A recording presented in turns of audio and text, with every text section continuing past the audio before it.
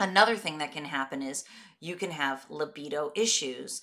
And the libido issues are not about libido at all. They're about compulsive hypersexual behavior disorder. This is characterized in the International Classification of Diseases that is put out by the World Health Organization.